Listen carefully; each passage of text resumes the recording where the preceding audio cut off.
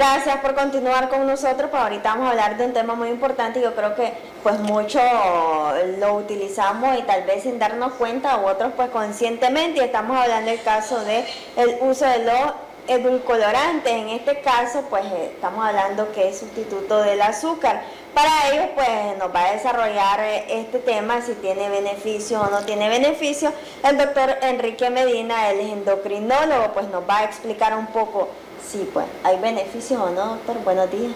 Eh, contundentemente sí hay beneficios. Ese es tal vez el mensaje más importante que, que les voy a transmitir en esta mañana. Los edulcorantes no azucarados son sustancias sintéticas, la mayoría de ellas son productos de laboratorio eh, de la ciencia pura, que ha permitido ofrecer a, la humanidad alternativas muy importantes desde el punto de vista de la salud. Y partamos de una ecuación sencilla. La mayoría de estos edulcorantes tienen cero calorías. ¿Y eso qué tiene que ver? Cuando lo comparamos con la referencia, que es el azúcar, una cucharada de azúcar sopera tiene 16 calorías, mientras que una cucharada de estos edulcorantes sintéticos tiene 0 calorías.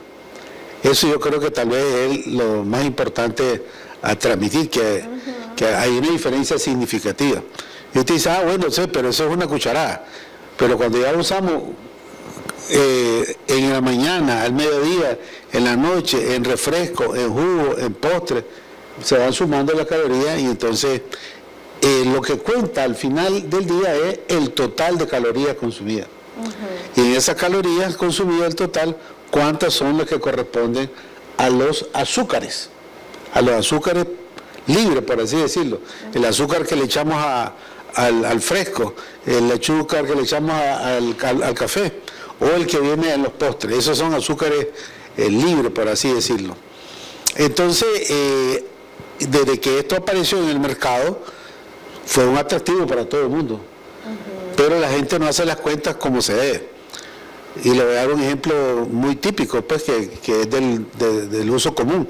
Hay gente que va, ¿verdad?, a esos lugares de comida rápida y se come una hamburguesa doble con todas las de ley, con un combo agrandado de papa, el montón de salsa y, y piden un producto cero entonces la misma gente decía, ay, mira, ese está loco. mira el gran plato que está ahí con, una, con un producto cero, con una gaseosa cero. Eso no va, ¿verdad? Lógicamente eh, hay algo que no va en esa ecuación. Y por otro lado tenemos aquellos delgados que están bien de peso, que hacen ejercicio cotidianamente y que se lanzan su gaseosita de vez en cuando. Entonces eh, hay algo que no va en esta en estas ecuaciones eh, con, respecto a los edulcorantes. ¿Qué podemos decir al respecto? Uno, si usted los va a usar, porque es de las personas que el gusto azucarado lo tiene bien adentro de su cabecita y le hace falta sentir el gusto azucarado en sus alimentos, está bien, dele. ¿Cuál? El que sea de su preferencia. Y esto es otra cosa importante también. Durante un tiempo, sobre todo en los años, entre los años 2000 2010 hubo una, información que salió ahí de que algunos edulcorantes provocaban enfermedades terribles, no las voy a mencionar. Y eh, la verdad es que no había suficiente evidencia científica para decir eso. Era, por así decirlo, un, un enunciado sin mucho respaldo. Ahora se sabe, después de casi 70 años que se están usando los edulcorantes, de que todos ellos eh, están respaldados por gran cantidad de estudios que dicen que lo podemos usar sin ningún problema. Tanto las oficinas de regulación en América como en Europa, que son los países pues, que más han estudiado esto. Entonces, dele, no le tengan miedo, úselo. Ahora, en el caso de los niños, ¿se pueden utilizar estos Sí, también, también. Pero aquí viene lo más importante de todo, es de que eh, la industria alimenticia nos ha metido los productos azucarados como qué, porque eso ha despertado un mercado tremendo. Entonces, ¿qué es lo que debemos hacer nosotros como padres de familia? enseñarle a los chicos desde la más temprana edad otros sabores. Enseñarle lo que es el sabor salado, el dulce, ya lo mencionamos, el amargo, el picante, eh, ¿cuál otro? Bueno, hay otros sabores más hay que variarle el gusto para que nosotros podamos de esa manera tener mayor riqueza eh, cultural. Eso por un lado. Por otro lado, eh, todas estas acciones que nosotros vamos a emprender con, estos edulcorantes no azucarados, ¿con qué propósito es? Con un propósito de alimentarnos mejor, disminuir la cantidad de calorías al día, debe ser un, en un contexto un poco más amplio. ¿No tiene efectos negativos, sí, doctor, digamos en este caso? ¿Es no, una buena no, opción? No, no, no, no tiene ninguno. Eh, sí, eso es lo, que le estaba diciendo, que hay estudios eh, que se han hecho en, todos estos lugares y que han demostrado hasta la sociedad de que no hay efectos colaterales. Mm. Ahora, eh, la otra cosa que hay que hacer, además del uso de estos productos cuando usted lo crea necesario, es hacer otras cosas que van más allá del simple cálculo, que van a favor de una alimentación más balanceada. Por ejemplo, ¿qué vamos a hacer? Disminuir el consumo de eh, la fruta en jugo. ¿Por qué? Porque la cantidad de, glucosa que va ahí eh, no nos damos cuenta. Podemos tomarlo fácilmente dos grandes vasos de medio litro de, jugo de fruta o de los batidos, famosos batidos, y ahí va una gran cantidad de calorías. Doctor, en este caso estamos viendo aquí que dice que la OMS pues había desaconsejado eh, el uso de, este tipo de productos para controlar el peso. Sí, fue un es lamentable ese, ese enunciado, que, la verdad es que lo que dicen ellos es, eh, eh, es condicionado de que esta, eh, esto que dicen ellos de que no debe usarse, que no sirve para a, largo plazo, la verdad es que no hay detrás de eso ningún estudio que le diga categóricamente que eso así debe hacerse. La verdad es que debe leerse eso de una manera un poco más eh, horizontal, en el sentido de apreciar bien todo lo que se está diciendo a favor y en contra de, esto, pero y al final la evidencia que, que, ahorita, en este momento, es la que domina, es la que le estoy diciendo yo, de que hay más evidencia a favor de que esto es favorable, pero que no solamente por el hecho de tomarlo en sí, sino que debe acompañado de otras medidas como la que estaba mencionando anteriormente. Y hay otras que no la mencionan sobre todo, que es de que eh, cuando comparan esto, lo comparan con las bebidas azucaradas.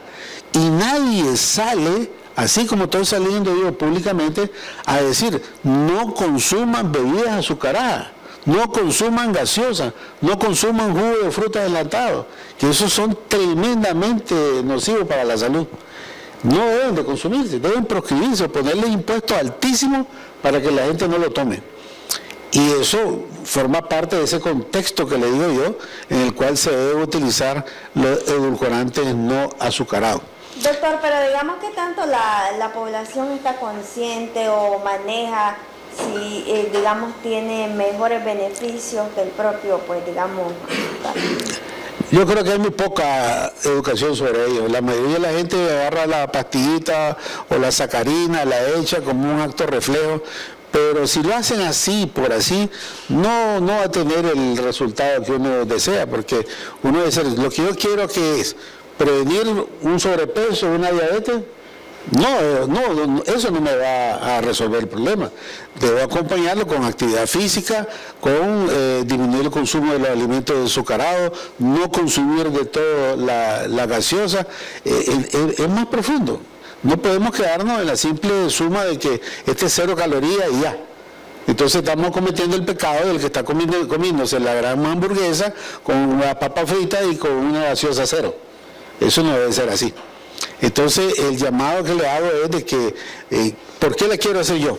Para bajar de peso, para conservar mi peso, para prevenir la diabetes. Para cada uno de ellos hay una estrategia similar, pero con características muy particulares. Y algo que es muy importante que decía la diabetes, que va incrementando también el sobrepeso, pues esto les ayuda bastante, entonces se debe crear, digamos, ese hábito de utilizarlo. Así es, recordemos que en nuestro país uno de cada 11 nicaragüenses tiene diabetes, la mitad de ellos no la saben, y sobre todo, lo que más me preocupa a mí es de que más del 60% de la población adulta en nuestro país, 65.4 para ser un poco más exacto, tiene problemas de sobrepeso u obesidad.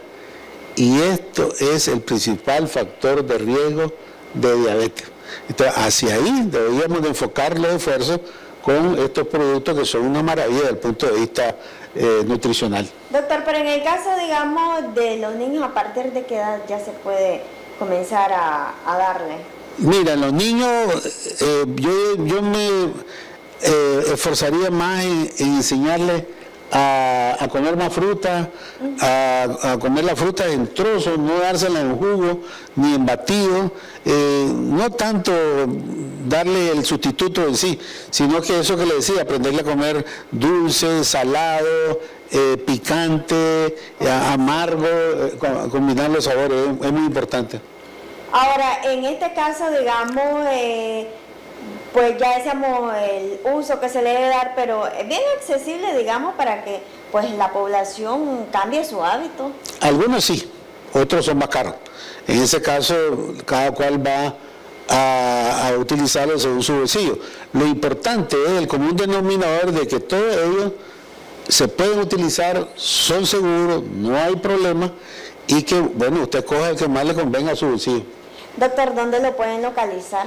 Ahí tenemos un, WhatsApp educativo que es 84592460, que es del WhatsApp de Diabetes, el abecedario de la diabetes.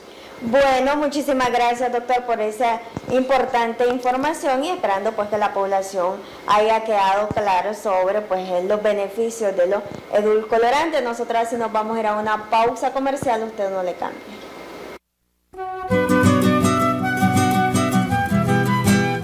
Reconocimientos, denuncias, quejas y sugerencias. Envíelas a Canal 12. Programa Buenos Días Nicaragua. Residencial Bolonia. O llámanos a los teléfonos 2266-0691, 2266-9983, 2266-9984. Escríbanos a nuestro correo electrónico canal12 arroba canal12.com.ni. Redes sociales, Facebook Noticias 12 Nicaragua, YouTube, Canal 12 Nicaragua, Twitter, arroba Canal 12 Nic. Visita nuestro sitio web www.canal12.com.ni.